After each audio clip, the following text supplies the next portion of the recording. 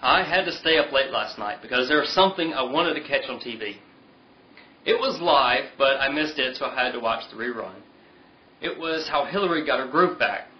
Yes, I know it was supposed to be the Democratic debate on CNN, but the commentator said afterwards that's what I actually had been watching the whole time. And I, I think I, I think I realized that I had been watching the wrong show. But still, it was fairly entertaining, enlightening, and depressing. But it was based on the honor system, in which the least one of the people talked, the more honorable they was. Hillary talked the most, being the most dishonorable.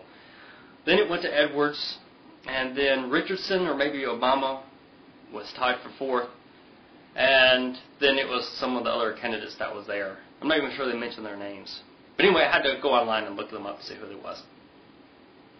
The first question from the moderator, who I think was a bit biased, first asked a question of Hillary, and then she talked for a little bit and rambled on, and then mentioned Obama. So the moderator let Obama defend himself, and then Obama rambled on and mentioned Hillary. Then the moderator let Hillary talk, and then she rambled on, and well, okay, it goes on for a little bit. Then they went to a commercial break, and then they were still rambling on. I think Edwards getting some time. He would be getting in plenty more time during the night. Then it went back to Biden. Now this guy, he was pretty good. He started cracking a few jokes, and uh, I guess the best one he said was that there's only three people there that night that's going to be asked any questions. It was going to be Hillary, Obama, and Edwards. And the crowd laughed, and, and they thought it was pretty funny, and they chuckled. And then the moderator asked Hillary a question. The crowd did not like that. They booed and hissed and started to chuckle. They laughed at their own plight and misery. Unfortunately, Ben thought that they were laughing at him, and his stand-up performance a little later didn't go over so well. So then they went on to some more candidates, and of course Edwards, and then Richardson, he got a lot of time, and of course Hillary, she got some fairly easy to ask questions. Then they mistakenly put the camera on Kucinich. Kucinich saw this, he knew it was his only time that he was ever going to be on uh, the, the show and have any time to say anything.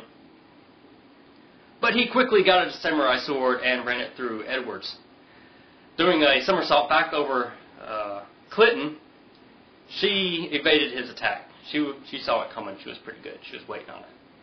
Uh, Edwards, uh, he was he was miserable the, the whole rest of the night. Uh, blood was spewing everywhere. Uh, the moderator was had to go to a commercial. They had to change the whole set.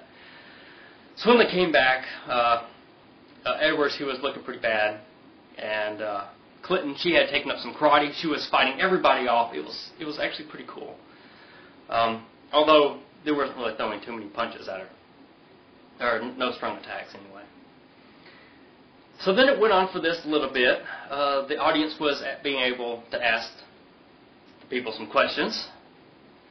I learned later that it was actually very carefully constructed questions, and they weeded out the people, and they knew the order that they was going to be asking them in, and to who. But the most revealing was the very last question. Since the first question went to uh, Hillary, uh, most of the questions went to Hillary. She was mentioned the most during the debate actually she was mentioned the most after the debate. Um, she got the most airtime above anybody else. They figured, well, why stop there? The last question was, well, I'm not going to say what it was. You need to watch the debate.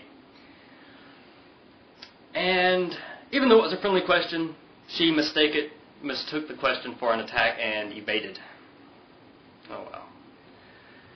No, honestly, she. Uh, that's essentially how the debate went. Um, I I am fairly disappointed in it, and I don't think I have any more hope for our democracy, especially looking at the polls afterwards. Um, it's yeah, the the the networks are going to choose who who's the president.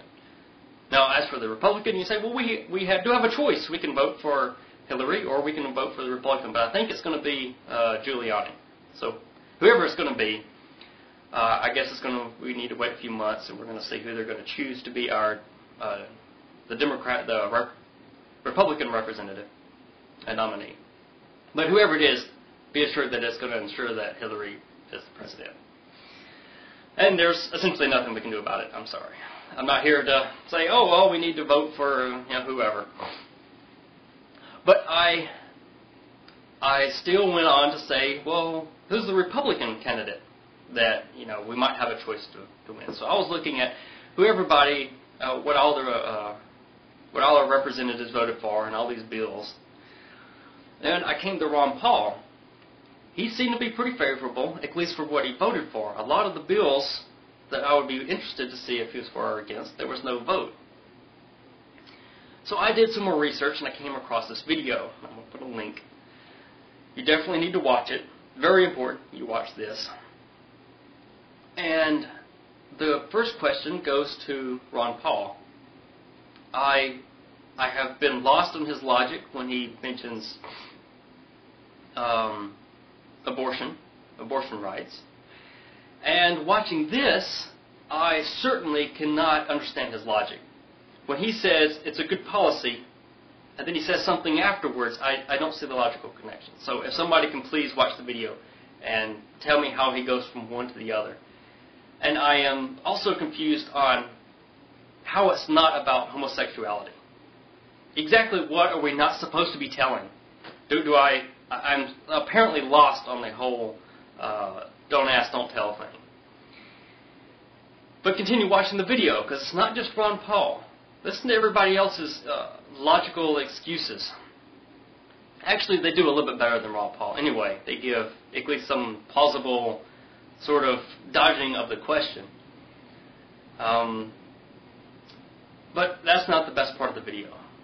At the very end, the moderator, uh, may the gods bless him, whoever that guy is, um, the question he asked is very important. And listen to, look at the response. Um, it's, well, anyway. I saw a, a, something somebody left on the site. They said that if Hillary is the nominee, then he is going to go fishing. And I'm going to have to say, I'm going to go fishing with him. And I hate fishing.